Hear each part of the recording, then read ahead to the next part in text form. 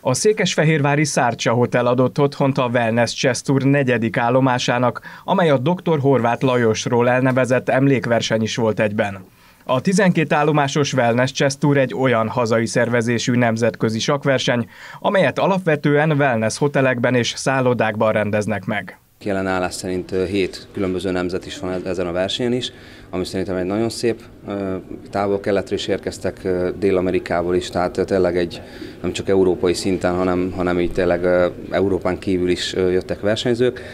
Ez a 12 állomásból álló sorozat, ez, ez egy nagyon nívós szállodákban történik, és azért Wellness a neve, mert inkább wellness szállodákkal vagy fürdőkkel kapcsolatban álló szállodákkal dolgozunk együtt. A székesfehérvári versenyen 51 sakkozó mérte össze tudását, közülük az első hat helyezettet díjazták a szervezők.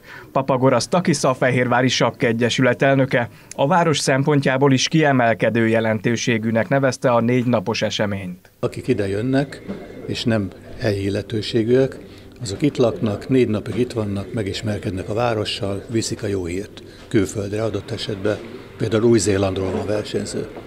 A játékosok szempontjából, a hazai játékosok szempontjából és a megyében lakók szempontjából pedig azért hasznos, mert olcsó ilyen szempontból a verseny, nincs nekik ugye utazási és szállási díjuk, utazási minimális, ugye a megyén belül, és a szállásdíj pedig, hát otthonról jönnek. Tehát nekünk ez ilyen szempontból egy jó verseny, akik itt vagyunk.